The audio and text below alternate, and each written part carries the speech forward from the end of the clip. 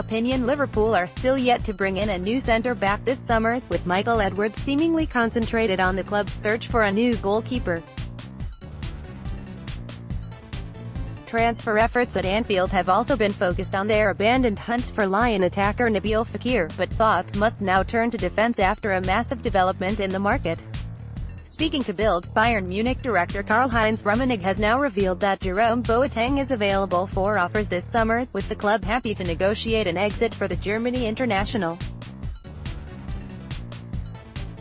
Rummenigge said, if a club comes and he, Boateng, says he wants to switch to that club, then we will negotiate. but the offer has to be important. This statement kicks opens the door for clubs to come in for the 29-year-old this summer, and Liverpool must be among the first to submit a bid for Boateng. The Germany international is one of Europe's top defenders, and would slot in seamlessly alongside Virgil van Dijk at the heart of the Reds' defense. His 6 feet 3 inches frame, Transfermarkt would give Liverpool one of the most formidable centre-back partnerships in Europe, and would surely put the Reds on course for glory next season. His experience in Germany and Europe with Bayern will be essential, with his Champions League winners medal from 2013 proving he knows what it takes to win on the biggest stage.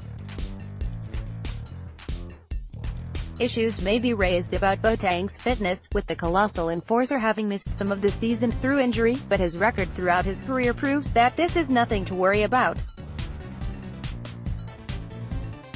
He is now set to star for Germany at the World Cup, and Liverpool must be kicked to table a bid for the 29-year-old in case his value skyrockets with a brilliant tournament performance.